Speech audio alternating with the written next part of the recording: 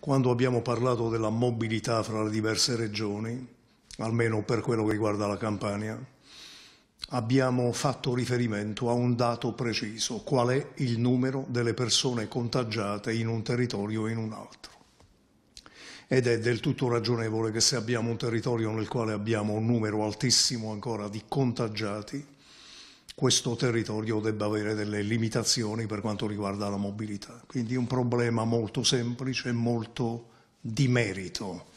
Non c'entrano i rapporti nord-sud, le guerre di religione.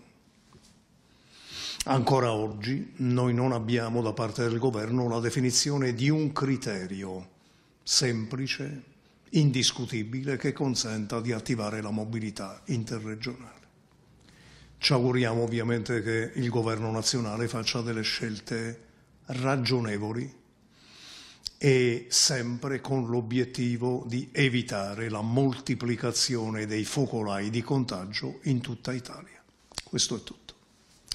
Per quello che ci riguarda ovviamente noi cercheremo di tutelare fino in fondo la situazione epidemiologica della nostra regione, cercheremo di evitare la diffusione di contagio e di focolai.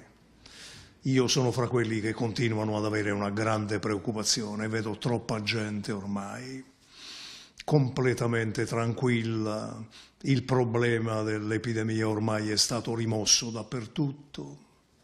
Io non la penso così, continuo ad avere una preoccupazione che non si diffonda il contagio. Comunque vedremo quello che decide il governo, è responsabilità del governo, sarà poi nostro dovere cercare di tutelare comunque al meglio la nostra comunità per evitare la diffusione di focolai.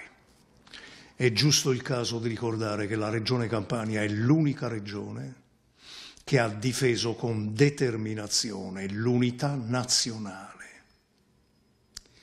e credo che siano volgari, stupide e intollerabili guerre di religione fra nord e sud, con questi chiari di luna. Ma ricordo che la Regione Campania ha difeso sempre, quando si parlava di autonomia differenziata, ma anche una settimana fa, quando il governo ha delegato le regioni a stabilire se c'era l'epidemia o meno, ha difeso sempre l'unità d'Italia. E dunque ne approfitto anche in questa occasione per lanciare un messaggio di solidarietà agli amici, in particolare della Lombardia, di solidarietà al collega, amico, presidente Fontana per le minacce che ha avuto e ricordare anche che noi siamo gemellati perfino con Milano perché abbiamo un gemellaggio in atto fra l'ospedale Cardarelli di Napoli e l'ospedale Niguarda in un clima di grande collaborazione, amicizia e rispetto reciproco.